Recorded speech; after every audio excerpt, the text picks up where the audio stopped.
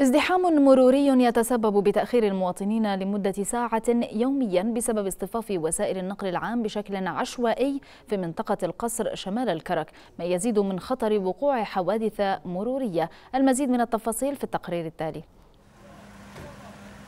اصطفاف عشوائي للباصات العمومية على الطريق العامة والرئيسية في منطقة القصر شمالية محافظة الكرك وافتقار لوجود مكان مخصص للاصطفاف بالإضافة لأزمة مرورية تسببها هذه الازدحامات بين وسائل النقل وازدحام الركاب المنتظرين. أهالي منطقة القصر يشكون باستمرار من هذه المشكلة التي تؤخرهم يوميا لمدة تزيد عن الساعة. فقد تتجمع هذه الباصات على مثلث تربية لواء القصر ما يتسبب بازدحامات مرورية وحوادث بين السيارات أيضا. باصات هذول في منطقة القصر يعني دائما هذا محلهم من ما طلعنا وإحنا بنشوف على المحل. ما في مجاوبة لهم كراجل يوقفون فيه أو منطقة يوقفون فيها اللي الناس تتعدى المرور مرور هذا هذا شارع ما بصير توقف فيه.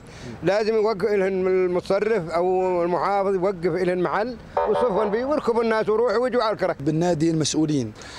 وجميع المختصين بهذا الشأن آه، محاولة يعني آه، الوقوف على هذا الشأن الذي يعني أصبح عبارة عن ظاهرة خطيرة جدا. وفي السياق ذاته أكد عدد من أصحاب الباصات العاملة عن تعذر وجود أماكن اصطفاف ملائمة وهذا ما يشكل خطرا عليهم وعلى الركاب. مطالبين الجهة المعنية بضرورة إيجاد أماكن اصطفاف مضيفين بأن الطريق يعد مدخلا لكافة مناطق شمال الكرك ويسلكه عدد كبير من المواطنين يوميا متصرف لواء القصر. بدوره أكد أن المتصرفية وبالتنسيق مع المجلس البلدي السابق ناقشت الموضوع لاستئجار أرض مخصصة للاصطفاف إلا أن حل المجالس البلدية أبقى المشكلة على حالها. نسقنا مع رئيس البلدية ومع رئيس اللجنة على أساس إيجاد مجمع للباصات في اللواء هذا المجمع هو اللي راح يحل 70 ل 80% من مشكلة السير باللواء، يعني موضوع إنه الشوارع ضيقة صحيح الشوارع ضيقة، لكن إحنا